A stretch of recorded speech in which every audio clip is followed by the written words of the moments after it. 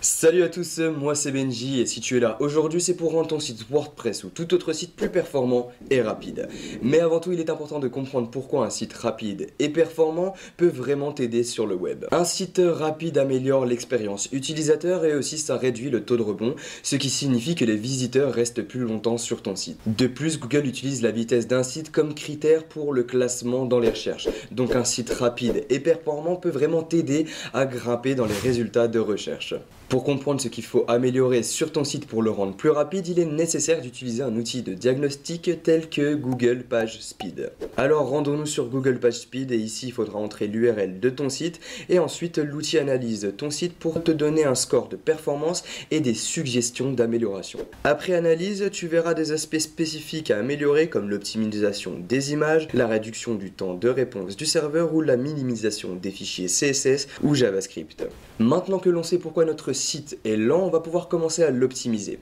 Et dans cette vidéo, nous allons voir comment optimiser un site WordPress grâce à des extensions et tout autre type de site avec des outils directement via le panel LWS. D'ailleurs, si tu n'as pas encore d'hébergement web ou alors que tu souhaites du changement pour opter vers un hébergeur français qui a ses serveurs en France et ce qui permet aussi d'améliorer la performance de ton site, eh ben je t'invite à utiliser le code promo qui s'affiche juste ici pour prendre un hébergement sur la boutique LWS. Et ce code promo te permet d'avoir 10% de réduction sur ton prochain achat. Allez, commençons à optimiser notre site web et si tu as déjà ton hébergement ou alors que tu vas le prendre, tu connais sûrement déjà le panel LWS.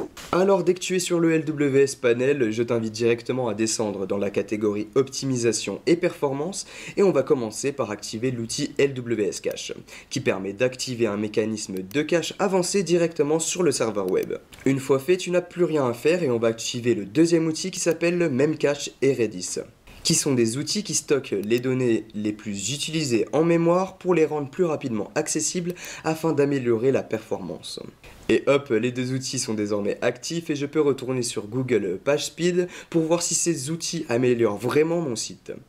Et on constate que le score a augmenté par rapport à la première analyse. Alors ne perdons pas la main et continuons en allant sur notre site WordPress. D'ailleurs, la meilleure façon de se connecter, c'est d'utiliser la connexion rapide avec le WordPress Manager comme ceci. Une fois sur ton espace d'administration, si tu es client LWS et que tu as téléchargé ton WordPress grâce à l'auto-installeur, tu as sûrement dû laisser l'installation de l'extension LWS Optimize et du coup tu peux directement aller dessus. Ici tu pourras activer des règles pour optimiser ton site. Du côté du front-end, tu peux déjà minifier les fichiers CSS.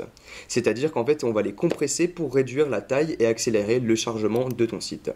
Tu peux aussi les combiner et aussi faire précharger les CSS. Donc ensuite on peut descendre et on va vers les fichiers JavaScript et là c'est pareil, tu vas pouvoir minifier, combiner ou alors même mettre un report de chargement. Après tu as des optimisations générales, tu peux minifier le code HTML, précharger des polices, désactiver des emojis, etc. Ensuite, tu as aussi des règles sur les médias pour optimiser euh, tes images, tes vidéos, les iframes, etc.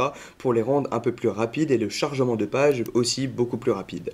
Ensuite, on a la mise en cache et en fait, on va pas euh, s'attarder là-dessus parce qu'en fait, on a déjà activé LWS Cache et même Cache et Redis directement depuis le panel LWS. Donc en fait, ici, depuis l'extension, ça ne sert à rien. Après, on a d'autres extensions sur WordPress qui permettent encore plus d'optimiser ton site. On a donc l'extension LWS Tool et LWS Cache qui permettent directement euh, de voir un peu plus d'outils d'optimisation pour ton site. Alors n'hésite pas à aller les installer pour optimiser ton site. Et voilà, maintenant c'est fini, on peut retourner sur Google PageSpeed pour voir si les améliorations qu'on a faites ont vraiment marché. Donc on analyse le site après tous les changements et on remarque bien que le score a augmenté. D'après le rapport, j'ai quelques modifications à faire au niveau des images. Alors ce que je vais faire, c'est que je vais changer le format de mes images parce qu'en fait elles sont en JPEG et ce format d'image est beaucoup trop lourd. Autant utiliser l'AVIF qui est désormais le format d'image le moins lourd pour ton site WordPress. Et nous voilà à la fin de cette vidéo et si elle t'a plu, je t'invite à lâcher ton meilleur like et surtout à t'abonner à notre chaîne pour ne manquer aucune de mes vidéos futures car je vais faire de toi un vrai produit web et de WordPress.